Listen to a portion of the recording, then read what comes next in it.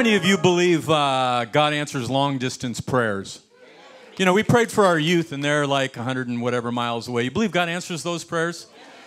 You know, I, I want to just share with you. Uh, three weeks ago, I got back from Pakistan and India with a little stop in Thailand. And before I left, uh, you guys prayed. I don't know if you remember that, and a lot of you prayed while I was there. And the prayer that God dropped in my heart, and, and you know, all prayer is good, but how many of you know really good prayer is when God tells you how to pray? You know, right? I mean, when the disciples, you know, they said, hey, teach us to pray, you know, like John's disciples pray. And Jesus went right into, you know, the greatest prayer ever taught, the Lord's Prayer. And so I was just, you know, God, you know, what, what, what's this trip about? And, you know, just pondering. And then I, I felt like He just dropped in my heart. I want you to pray for spiritual, physical, and emotional agility. Do you remember that? And that was like, man, that's that's really a good prayer right there. And so I started praying that, and I had my prayer team. I got 10 to 12 people that pray for me regularly. And then we told you right before I left, the Sunday I left, I said, Would you just pray for those things right there? I can tell you God heard those prayers.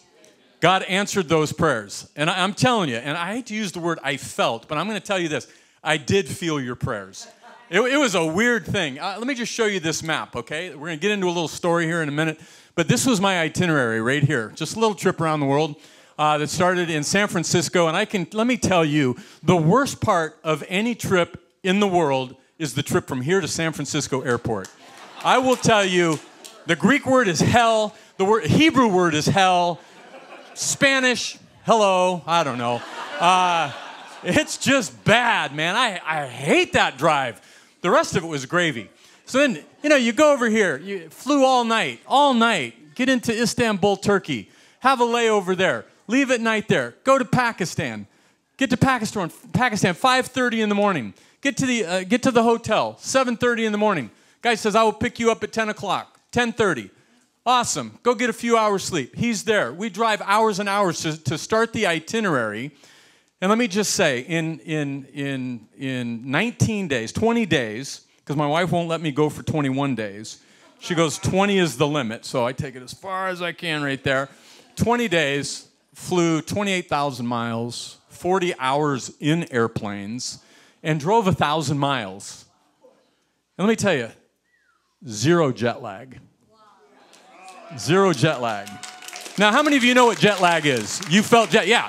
I get jet lag. I get it. I come home from these trips and I typically sleep 13 hours straight. It's bizarre. There was no jet lag. There was no illness. There was no sickness. There was no, you know, you know, there was none of that. No scoots. There was nothing. There was, there was no food poisoning. There was, there was nothing. And, and I'm sitting here, I'm thinking, the whole trip, I'm thinking, I should be exhausted right now, but I'm absolutely exhilarated. And you know what I know? I know it's the prayers of the saints. I know, that, I know it's the supernatural grace of God that, that was enabled by the prayer of the rock. And then one night I happened to go, Gosh, what time is it? What day is it? Oh, I'm just going to check to see if the service is going. I just happened to catch the window of time that I have to, to check in and go online from Pakistan to see the service. And right when I click on and it starts streaming, Pastor Brandon is praying for me and, and leading you in a prayer for me in Pakistan and praying for Haiti. And I'm sitting here going, yeah, here I am. I'm here. I'm watching. I'm, you're praying. I receive it. And I'm telling you, it was tangible. So next time you tell somebody, yeah, I'll pray for you, you need to understand it really, really, really, really makes a difference. And, and, and so that, that went on, man. And there was airport closures and reroutes and, and, and just the whole nine yards. And I can tell you, after all that, I got home, there was no jet lag. My wife said, I cannot believe, you know, how you're doing. I said, yeah, I'm young, man. What can you say? I'm just a young dude, you know? No, it was all the grace of God. So I'm going to share some of the things that went on that I believe wouldn't have gone on had it not been for the prayers of the saints. I just believe that. It would be arrogant to say, I went and did this and I, I did that and then this happened. No, man, this is a, you know, rather you and I go or send or give, we're all part of the mission. Is that right? All part of the mission. So, with that, let's go to Luke chapter 10. We'll go a little story here. You've heard it a lot of times. Resist the temptation to go, yeah, I know that story. No, let's, let's take a look at this with fresh eyes, fresh heart. You know, this word is 2,000 years old, right? Actually, it's eternal, but the printed, you know, 2,000 years. But how many of you know that every day this word brings life? To those that will read it, meditate on it, pray over it, believe it, and obey it. So I believe this story right here can really ignite something in our hearts. And we, have been talking about kingdom life. Oh, we're already there. Kingdom life, uh, triumphing over tests, right? Did I get that right? Triumphing over tests. Let's talk about the test of love. What? Did I get it? Good enough. Close enough. Okay. How many of you were good test takers? You know, you would get the test would come, no problem. Yeah, let, hold your hands up. It's okay. Be a little proud. You're not in trouble. How many of you that when you saw the T word, there was like a mild form of paralysis that took over? You just see the T word like, ah, uh, ah. And inevitably, it was like, I, I always studied the things they never asked. What, what, you know? So I'm just here to tell you that I have, I've flunked a lot of tests. I've flunked a lot of spiritual tests. But by the grace of God, He keeps giving the tests. And He gives the answers to the test. And if I'll look for the answers, I can pass in Jesus every test. I like those tests. And this is this is a great test, the test of love. Nobody nails this test 100 out of 100 because we're human. We miss it. Luke 9 and 10 are two chapters about short term missions. Really good. And let's look at this story. On one occasion, an expert in the law, so he's pretty smart, he passed a lot of tests.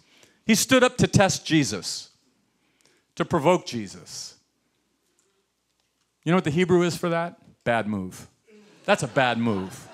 That, that's just a bad move to stand up and test Jesus. Teacher, he asked, what must I do to inherit eternal life? He's really asking, what do I need to do to have the unending life of God in the presence of God forever and ever? And that's a great question, but his motives are wrong for the ask. In verse 26, what's written in the law? He replied, How do you read it? Verse 27, he answered, Love the Lord your God with all your heart, with all your soul, with all your strength, with all your mind, and love your neighbor as yourself. And you know what? He got the, he nailed the scripture memorization. Put a dollar in the jar. He got it. He nailed it. It's good. Verse 28, you've answered correctly. Sweet. Correctly or rightly or orthodox ortho, rightly. He's got it. He's biblically sound. He's got it. But Jesus is going to do something to him. You've answered correctly. Jesus replied, Do this. Everybody say, Do this. Not know this, do this. So he says, he says, do this and you will live. What he's saying there when he says live, you will live, it means that you will really enjoy a fruitful kind of God life in the here and now and a quality of life that will sustain you forever and ever and ever. It is literally the spiritual best life. I mean, we live in such a meme world, don't we? I mean, you can't go on Facebook or Instagram or whatever the other Twitters, and there's memes everywhere. And one of the popular ones is your best life. I, I even have friends, I have people that will be out doing something, drinking coffee. They'll send me a picture. I'm living my best life. part of me, the cynical part of me goes, who cares? No, the other part of me goes, that's awesome. But I'm, I'm just thinking, and so people will send me this stuff. I'm living my best life. Let me tell you something. If best life, those two words, are not connected with Jesus' two words, do this, that's not their best life. Well, I want my best life now. Okay, do this now. Okay, that, okay, that's okay. That's fine. You're going to be fine. But he wanted to justify himself. In other words, he wanted Jesus to affirm his righteousness. So he asked Jesus, Who's my neighbor? Love your neighbor as yourself. Who is my neighbor? You know, the Jews thought this way that if you're a Jew, then the circle's really tight. And if you're close proximity and Jewish, that's the neighbor. But this guy's wanting to justify himself. He's really, you know what he's really doing? He's he's he's asking, who am I really obligated to love? Who who am I really responsible for? How far, and, and we all ask this at different times, how far do I really have to go outside of my circle? How far do I go outside of my comfort zone? You know, I had a guy before I left for Pakistan took me out to breakfast, and uh, he was working on his final paper for his master's degree in missions. And his paper was on the validity of short term missions. So he's asking me, and he's, he's saying, you know, how, you know, how valid is short term missions and, you know, this kind of stuff, and should we do it? I mean, isn't it not a waste of money, but couldn't that money be better spent and all that? You know, and he had all those classical arguments. And, and then I just asked him, I just said, hey, let me ask you a couple questions here. I said, do you have a brother or sister? He said, yeah, I do. I said, okay, if they lived in Sacramento and a neighbor called you and said that they're in desperate need, they don't have any food, would you help them? He said, Yeah, of course. I said, Okay, if, if your brother or sister lived in Los Angeles and it was the same scenario, the car broke down, they had to walk three miles to get to work, they were barely making it, would you help them? He said, Of course I would. I said, If your brother or sister lived in Haiti, would you send or go or do something for them in Haiti? Of course, he said, uh, and he was a little annoyed. He said, Of course I would. He goes, How far are you going to take this? I said, Exactly. That's how far we're going to take it. We're going to keep, I'll tell you what, we're going to take her further than less. That's, where, that's where we're going to take it. We're, we're not going to take it lesser, we're going to take it further because that's what Jesus said to do. I mean, he, he said to go. He didn't say, you know, go as, as far as it's comfortable to you or convenient to you. He said go. And you know what's interesting? I'll just, can I just tell you what irritates me a little bit? It's okay. It's a, it's a, can we just chat? Let's, let's, let's talk. Let's talk when I go on mission trips, a lot of times somebody will inevitably say this Well, did you pray about it? I do. I'm tempted. Just, you know. Did you pray about it? I thought, isn't that interesting that that's a lot of people's first response? Well, did you pray about it? You know, and here's my thought what if we did it the opposite? Rather than pray about it, what if we just obeyed and went and kept going until Jesus said, Stop? Can you do that? I think so. He said go. He, he said go. I didn't say go. He said go. Where did he say to go? The whole world, every ethnic group, every tribe, every tongue. When the Holy Spirit was given and the church was birthed, there was 19 different ethnic groups right there. I think he likes different countries personally. I think he does. So my, my thought is how far do you go? You go until he says stop. This is uncomfortable. See, here's the deal. No, this is awkward.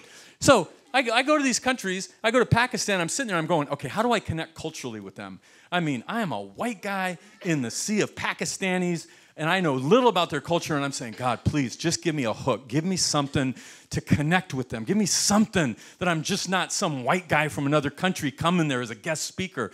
Help me connect. And I'm, and I'm praying, and they're getting ready to introduce me. And, and then and God just drops this on me. He drops, he drops Ephesians, I think it's chapter 4.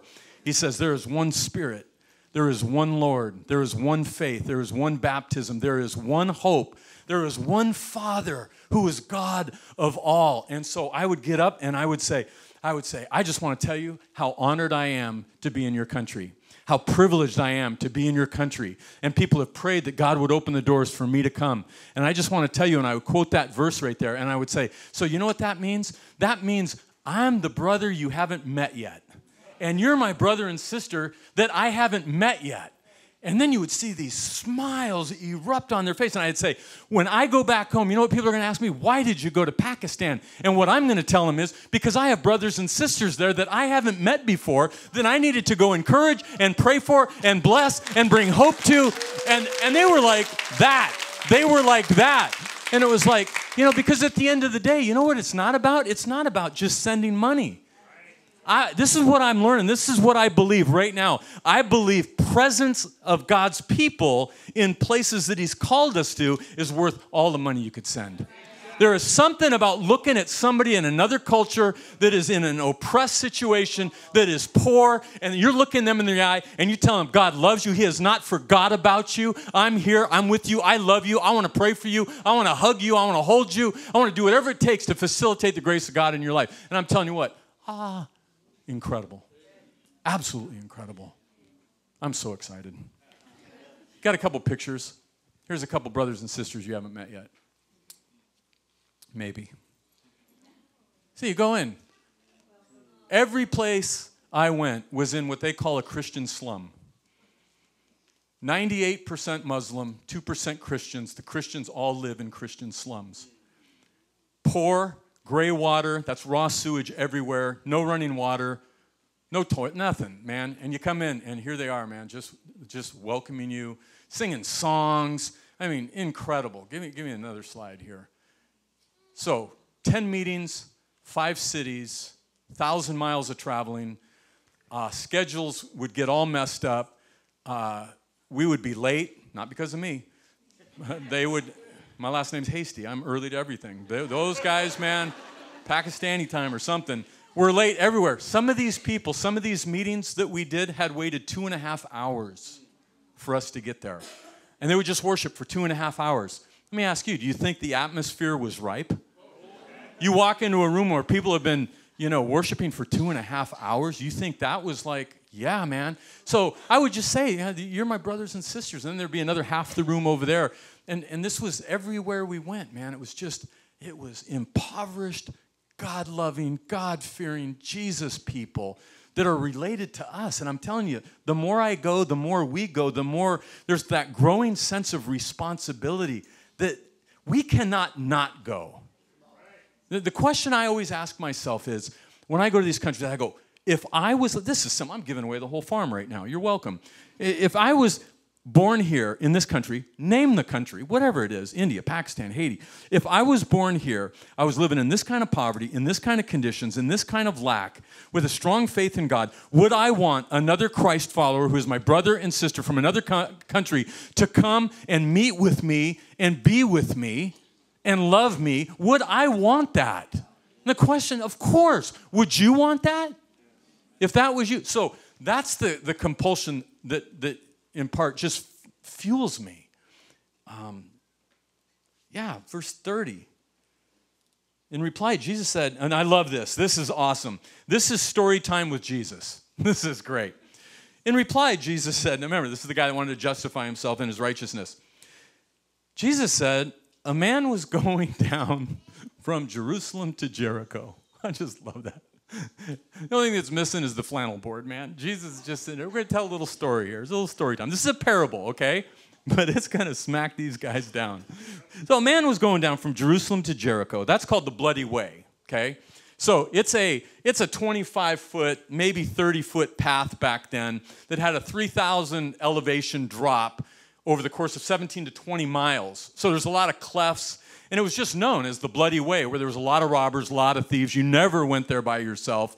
Uh, there's just robbery, pil- pilferages, all, I mean, just everything was happening on this place. And so Jesus, when he's telling this, they know, they know, okay? That road, we know that road.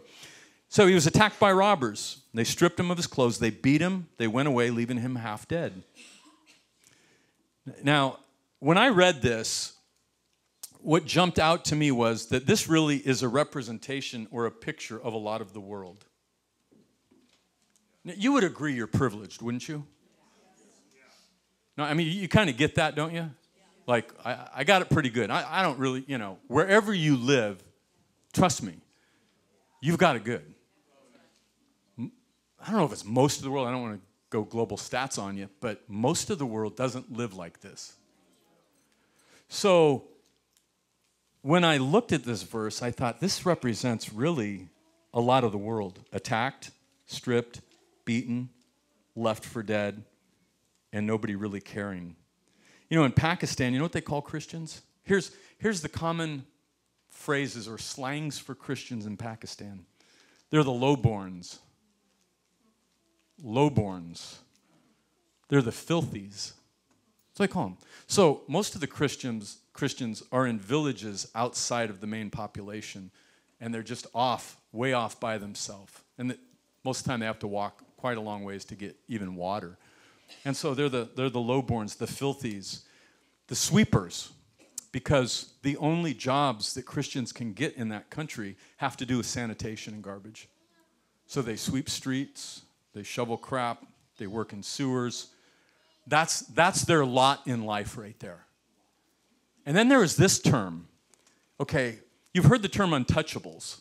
Okay, that's low caste systems in different places where you just don't go near them, you don't touch them. And that's true there too. But then there's also a word to describe them. The Pakistan Christians are called, called unseeables.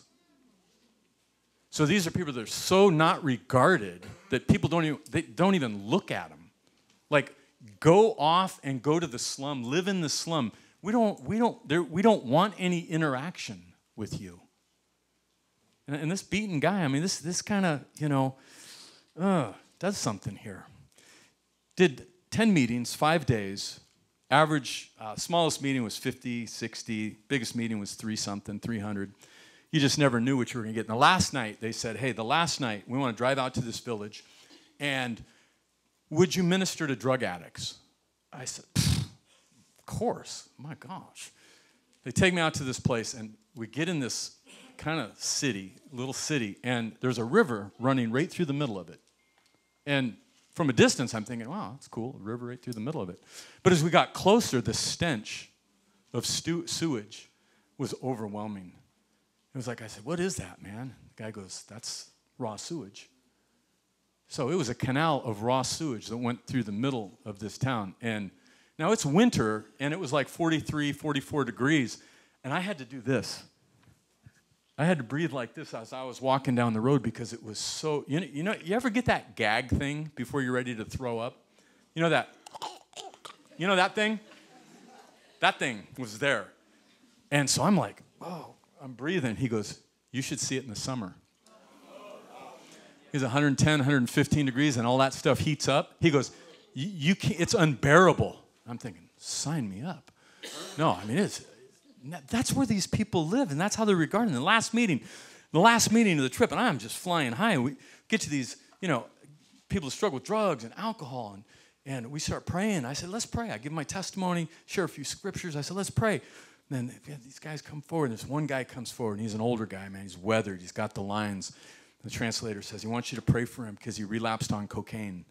I said, oh, absolutely. And so I started to pray for him, and his head just went just down and, and it was, I mean, it was so awesome because when you're walking in the grace of God, you know that there is nothing this guy can do to perform for God, to earn anything from God. He is a mere recipient of the grace and mercy of God.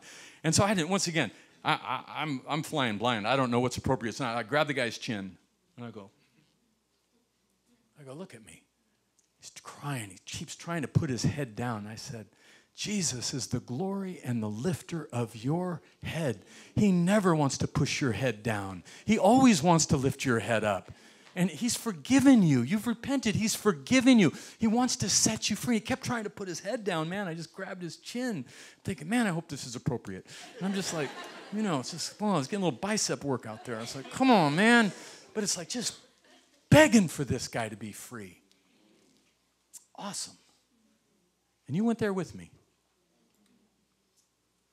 Verse 31. This is this where it gets really interesting here.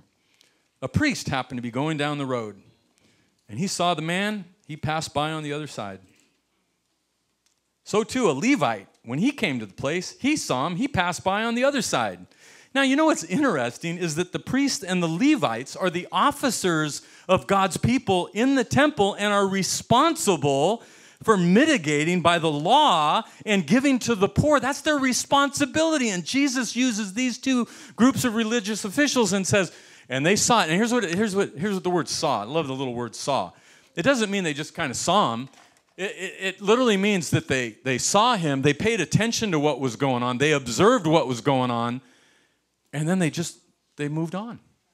Both of them. Now, when you go 0 for 2 on religious leaders, that's not, that's not good for God. And so, you know what, Jesus, Jesus does the absolute unthinkable. Both these guys, you know, they pass by. Uh, here's what keeps, you ever heard of the golden rule? it's like whatever you want men to do to you or for you, do for them also. I think it's a no brainer, man. I, I just think that's a grid, that's a filter we have to think globally and locally. In our church, we are members of the household of faith. I wrote down in my journal, you know, over there, uh, after the Ephesians 1, you know, one Lord, one family, my brothers and my sisters. We are of the household of faith. And, and, and I wrote this we're a part of a really big house. We are part of a really, really big spiritual house around the world. I don't want to be a guy that passes by. You know, they took the easy, the easy way. Don't look, I won't get convicted. You know, just keep moving. We do that. How many of you ever pass by? You got convicted, do something. You went la la la la la la la la la. You ever do the la la? Yeah, I've, I have too. That this is so convicting. Old story, new conviction. I'm compelled. I, am compelled to bring people with me. Um, I did a terrible thing. Um, this was bad. At least my wife said it was bad. So when I'm over there, I, I grab some books for this guy. His, his sister sends some books. I grab some books. I see Pastor Francis's book, A City That Looks Like Heaven. I just feel like I should bring that book. So I bring the book. I give the guy nine books. He's a voracious reader. He reads that book first. He reads it in one day. He starts reading the second day. We get together. He goes, Oh. First, he texts me middle of the night, three in the morning. I love this book. This is a great book. I love this book. Next day, he tells me, Oh, I love that book. So I go, ah, Let's snap a picture. I'll send it to Francis. So he holds the book up, send a picture, and he goes, Can we get this translated in Urdu? I said, Absolutely. Remember, it's all yes until I hear no. So I say, Yeah, sure, absolutely. and so, so I send it to Francis. I said, Hey, this guy loves your book. He goes, Oh, that's so exciting. That's awesome. Then I sent him another one. Uh, I said, Hey, he wants to translate it into Urdu. So I told him we'd do that. So we got to get you got to get to work on this whole thing. He goes, "Whoa, whoa, wait a minute, wait a minute." He goes, "That book was written, you know, specifically for Sacramento." I said, "Really?" I said, "Well, give me the five principles uh, of the book." And he goes, that, that, that, that. I said, "Is that good for every church?" He said, "Yeah." I said, "Is that good for every country?" He said, "Yeah." I said, "Well, I think you should translate it." And then I said, "You know, or you could just go on a cruise ship and take a lap with Susie, drink your Starbucks, call it good. If I mean, if that's what you want to do, I mean.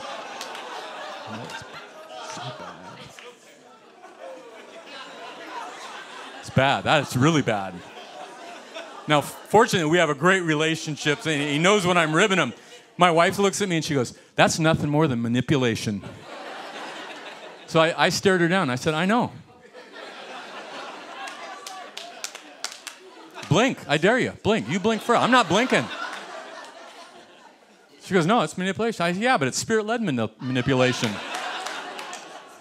So I get a call a few days later. He goes, Okay, I was only 1% excited when you started talking to me. Uh, I'm 55%. And then his wheels, you know, Francis, the wheels start turning. So I leave him that little caveat. I say, You can golf, hit the white ball. That's good. It's all good, Francis. That's what you want to do. I said, Or you can change a nation. That's bad. I'm confessing. That's so bad. And then, and then, and then he goes, he goes, well, okay, so uh, how are we going to get the book there? I said, mules. you and me, man, we're going to load up some suitcases. And then he says this, he goes, okay, now, so if I did that, I'm not saying I'm gonna, but if I did that, then we'd have to go see Anthony Nanu in India, right? I said, now you're starting to get it. You're starting to get the vision, Francis. You're starting to get the vision for this thing right here. That's so horrible. He's such a good man, and he's anything but retired. You know that. But you know, anyways, that's bad. Don't do that. Don't try that at home. But you know what? I want to get people to go. I want to get. I hope when I'm 70, somebody doesn't go, "How's your golf game?" I hope they go, "What country are you going to next?" I don't care about my golf game. It's been tanking for 14 years. Actually, it's been tanking since I moved here. So I don't think it, there's any change soon. Okay, let's talk about some reasons why people don't love and engage the lost and the marginalized. Okay, here we go. Five. I said reasons. I was being polite. Five reasons people don't. Five excuses. Um, number one, laziness. Lazy people don't want their comfort messed with. Laziness means slothful, sluggish, dull, relaxed, and withdrawn.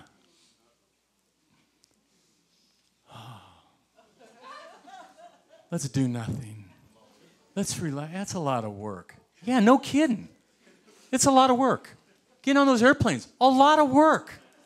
My back hurts. Everything hurts. Or I could be lazy and relax. I, I don't want this. Here's a, here's a terrible quote. Ready for this one? Sloth. Everybody say sloth. That sounds horrible.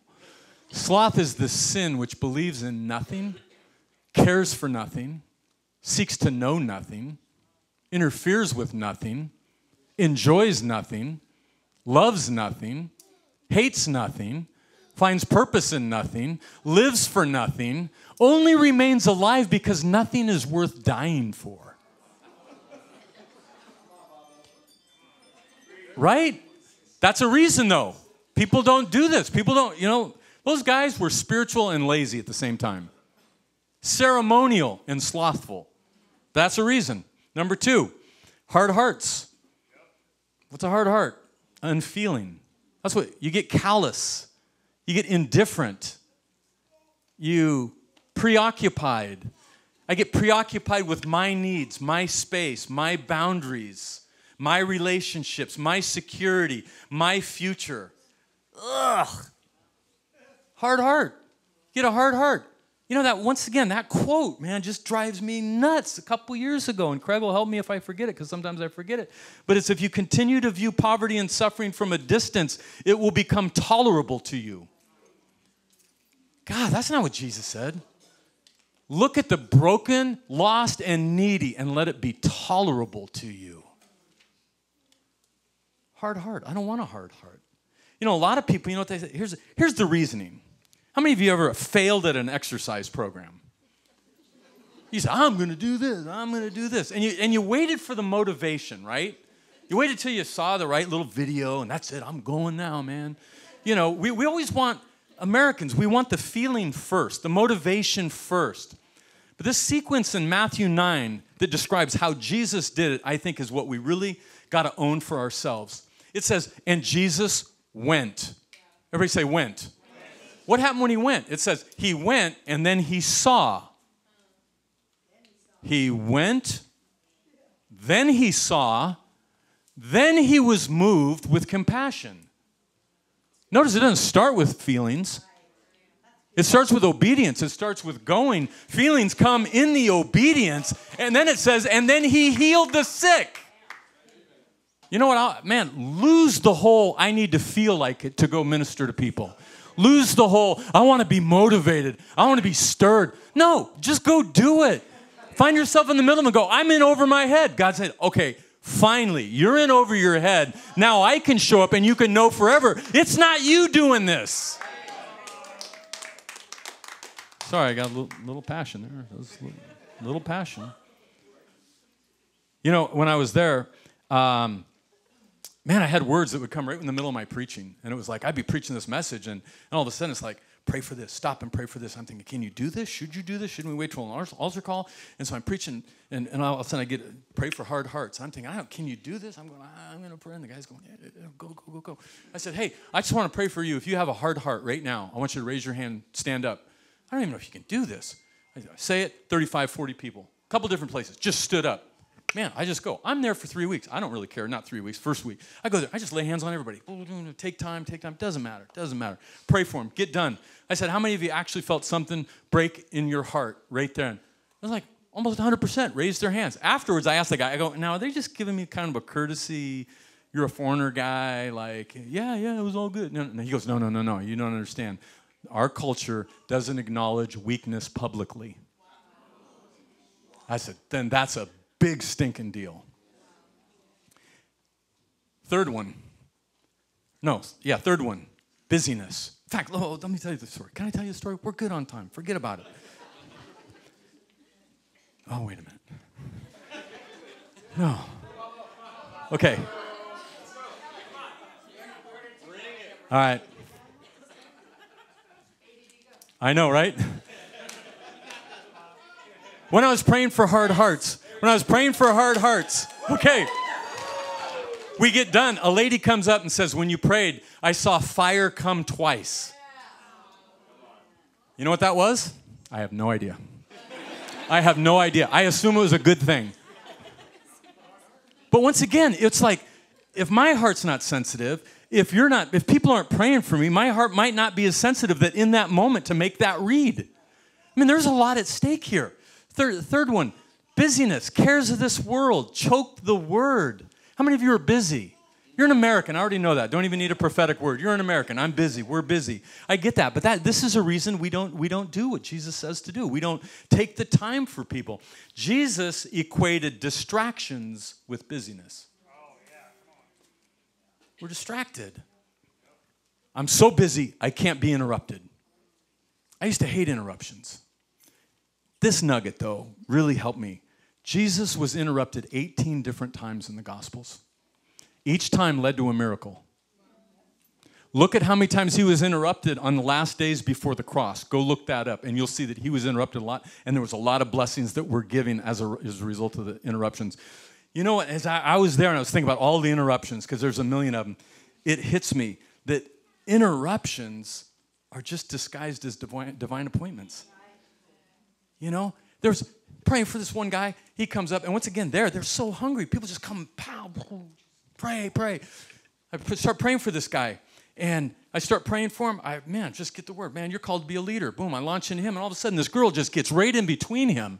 Like, you know, tries to steal the prayer. It's like, what the heck? But it's like I said, okay, whatever. She's desperate. So I start praying for her. I get the same thing. It's like, whoa, hey, you're called into leadership too. I don't know that they're brother and sister. That have no idea. So I start praying for her, and she goes into this trance like thing. So I put my hands on, start praying for her. And she starts going, and she sits just kind of collapsed on the chair and i'm praying and the guy you know my buddy he goes he goes what's happening? I said have no idea. Start praying. And as i'm praying you know there's part of me that wants to go into i've got to discern this. I've got to discern the moment. I've got to know exactly what this is. And you know what? And then i'm reminded of something a mentor friend of mine in singapore told me a couple years ago. He says you need to celebrate the i don't knownness of god so i didn't know what was happening in the moment what I did know in the moment that my love is greater than whatever she's trying to overcome right there. My faith that I have right now, the prayers of the saints back home, the prayers that we're praying right now are greater than whatever this little thing is. Now, here's the deal. So I pray, and you just move on. There's hundred people, man. You're just praying. Is it next night or two nights later? All of a sudden, the guy grabs me and he goes, he goes, "Hey, do you remember her?" And this girl, and it's like, "Yeah, that's the girl, that girl." And I'm telling you, I'm not exaggerating. She looked like she came off the Mount Transfiguration. Her, her face, her countenance was lit up. I'm thinking, I so just want to take my. I mean, I so wanted to snag a shot, man. I mean, it was like amazing. Oh, all right. Busyness, interruptions, divine appointments. Okay, so there's this little war that almost breaks out. Pakistan shoots down an Indian jet over Pakistan coming home from Islamabad back to the hotel, three in the morning, 50 to 100 tanks, heavy artillery rolling down the road. It's like, shnikey, man, this is like, wow, this is, they're going to the border. It's the pilot that got captured from the shot down plane, 30 miles from where I was at. So this is, you know, this is alarming. So they shut down the airport, but no problem because I'm not leaving for a few days. And so then it opened up for a day or two. And then the day I was supposed to leave, they shut the airport down again you know, for security. Hotel I'm staying in has a evacuation drill. That was kind of fun. Um, so they shut down the airport. And then, and then, so my travel agent calls me up. He goes, "Hey, you know, you got got some little problems there." I go, mm, "Yeah, I kind of know." He says, uh, "You got to try to get out on this plane here." He says, "You can't get out on your same airline to go to Bangkok because you can't fly over India airspace." Because I was going to meet Gunnar Preston and Emily from China in Bangkok for three days. He says you can't go that way, so the Thai Airlines is booked for a week out. So I'm telling the guy, my buddy there, and he goes, This is awesome. He goes, We can do more meetings. I mean, he was like blood in the water at Shark Week. I'm not even kidding, man. He's like, Oh, keep it closed, Lord, keep it closed. So they booked me on Oman Air. And the day it opens, it opens at one o'clock. There's only one flight that makes it out that day. Whose flight is it?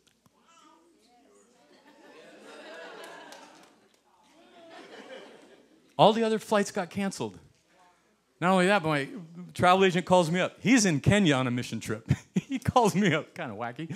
He calls me up. He goes, he's a Russian guy. He goes, well, Bob, you know, I couldn't get you any uh, regular uh, seats on the airplane, so I had to book you first class. I said, he goes, you have travel insurance, so it's no problem. I said, no problem. See ya. Oh, please don't cancel this flight. Please don't cancel the flight. So I get on the airplane. And it's funny because they sent me the new itinerary and it was Muscat. You're going to Muscat on the way to Bangkok. How many of you know where Muscat is? I didn't think so. You know where Muscat is. One person, one person last service knows where Muscat I don't know where Muscat is. I'm like, I'm thinking, So I started heading to my phone to find out where I'm going. You know, where is this? And there's a four hour layover. So I started going. I go, no. I said, no, I don't want to know.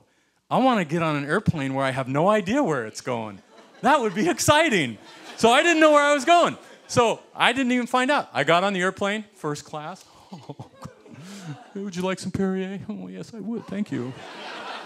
Mr. Hasty, what would you like for dinner? Mm, I'll take the lamb. Okay, wise choice. Thank you. Massager in the chair. Oh, how much do they pay for this kind of stuff? This was, it was really spellbinding. It was amazing.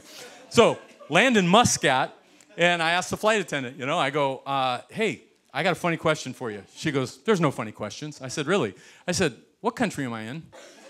She said, are you serious? I said, totally serious. I have no idea where I'm at. she starts laughing. I said, I told you that was funny. She goes, You're in Oman. I said, That doesn't help. Muscat, Oman. Have no idea where I'm at. She goes, You're in a Saudi Arabian country. I said, Awesome. Thank you. well, you Americans, very funny. so it's like, so I get there, I'm in this airport for four hours. I'm thinking, okay, once again, I'm not supposed to be here. I'm supposed to be in Bangkok. So I'm there, and all of a sudden, there's a flight that gets canceled with a bunch of people from uh, Iran that were working in Oman, and they start gravitating towards me. So I start, you know, I'm a friendly guy. So start talking, very broken English. They start asking me questions. You know, one guy says, I'm a Sufi Muslim. I said, Awesome, I'm a Christian. I believe that God sent Jesus to die for my sins. He was buried on the Thursday, he arose. Spirit of God lives in me. I mean, just went into it, and he's kind of going, I think you're a very good man. I said, Sometimes.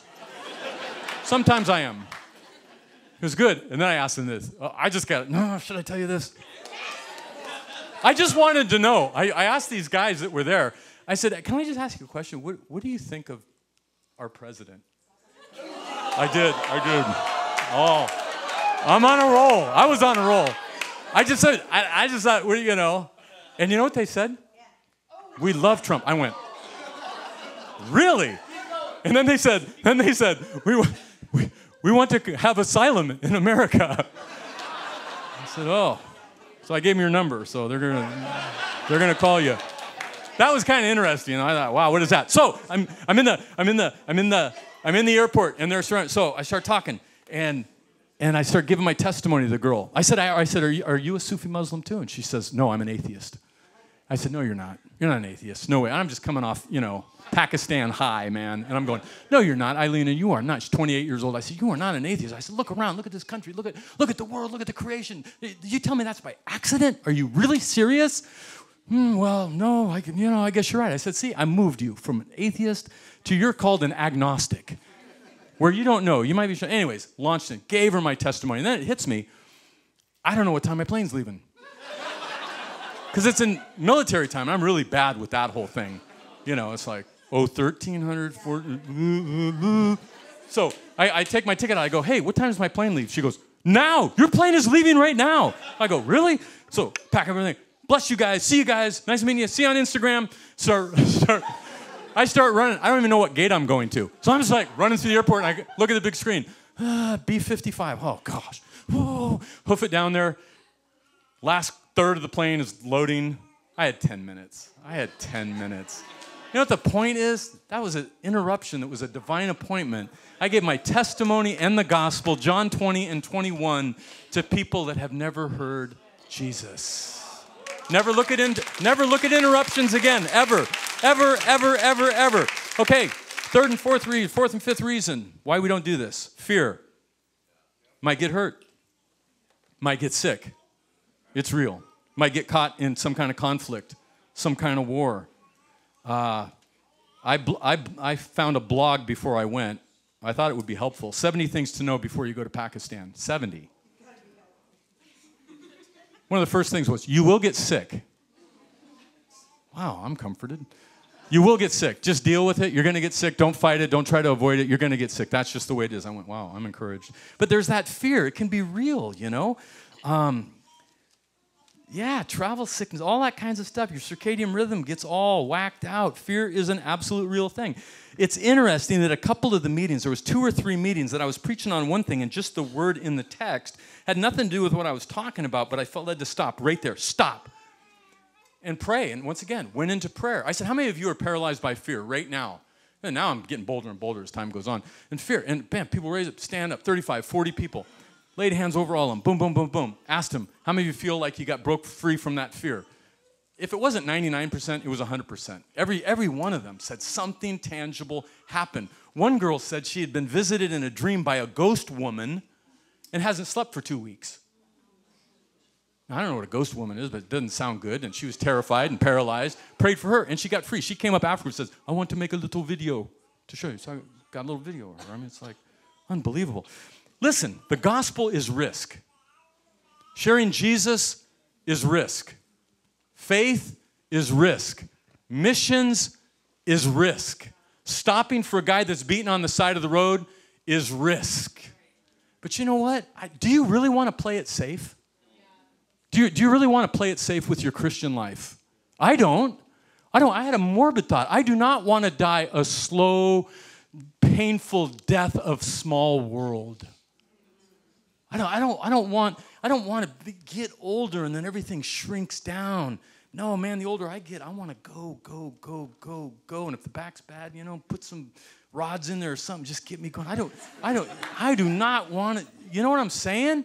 It's terrifying, man, to think that one day my world could get so small that I just go to church on Sunday. Oh, I don't want to do that. I'm not going to do that. I'll just tell you that right now. Number five is excuses. You know what the biggest excuse for people going to these places is? What difference can I really make? And then they followed up with this why don't you just send money? Answer Jesus didn't say to send money, He said to go. Sending money is the easy way out. Sending money is like, who do you send it to? Where do you send it? How do you know it's legit? Where are you sending it? You know, part of this trip wasn't just to do mission stuff and do and to do ministry. It was to find out the legitimacy of the people and the church that I've been preaching to over the over the internet for the last five months to see if this guy was a legitimate leader. And I can tell you he is. So, despite all that, my wife said, Now you're not planning on going back anytime soon, are you? I said, No, September. Um, no, there's a compelling, man. When Paul said, I am compelled to bring the gospel, I am compelled. Love compels me. I, I, just can't tell you. The only way I can describe it is you're going to a place that's not on the radar. You don't sign up for these places, but there's an invisible hand that's got you by the shirt that is gently pulling you, and you know that there is nothing you can say or do to get out of that grip, and that's God's grip. It's the grip of love, it's the grip of compassion, it's the grip of conviction, and, and there's nothing you can do about it. And you know what? I, I, I resolved in my, in my mind, and this is going to sound horrible, this is going to sound rebellious, maybe even a little crazy, but there was a point where I knew so much that I'm supposed to go that if my wife said, don't go, I would go anyways. If Pastor Brandon said, don't go, I'd have snuck out the back door. Now, the only way, once again, you can take that any way you want. I'm just telling you, when this is going on, you can't resist that. You're going to resist that? I'm not resisting that. I'm sitting over there in the middle, like this close to the Af- Afghan border, Afghanistan. I'm thinking, what am I doing here, man? I'm the only white guy I've seen in like a long time. but the good thing was, remember, I grew the beard so I would blend in. So one lady said, what, what country are you from? I said, Where do you think I'm from? She said, Japan.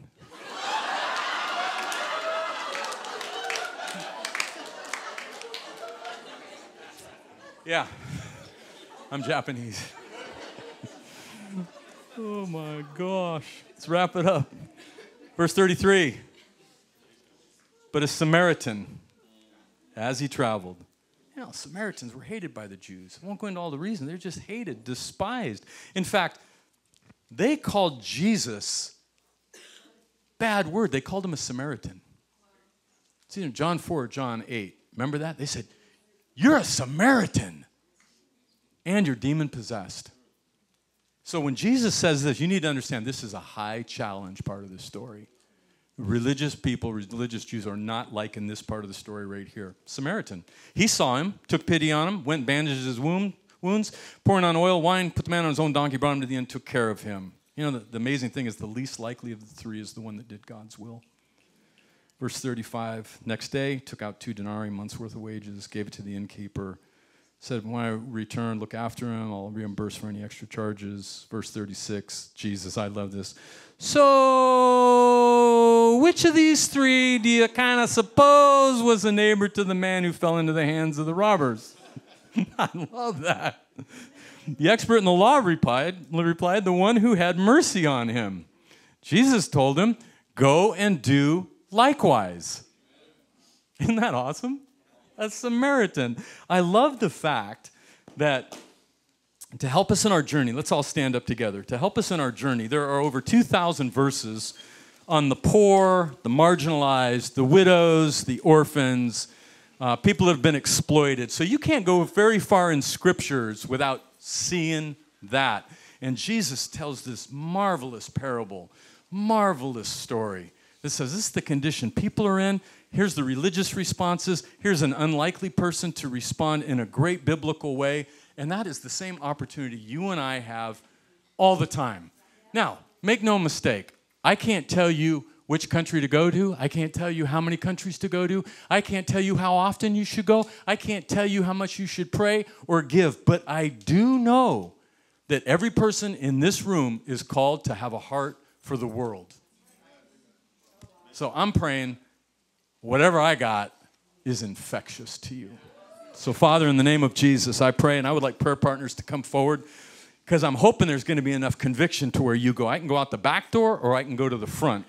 And so I pray, Father, in the name of Jesus, we would respond in our heart, God, to your heart, to your word that says, Go and do likewise. That you would open our understanding, you'd tenderize us with compassion, God, and we would have a heart to go to the less fortunate around the world and bring the good news of the gospel, the good news of Jesus Christ to people that have not experienced it before. In the name of Jesus. And everybody said, Amen.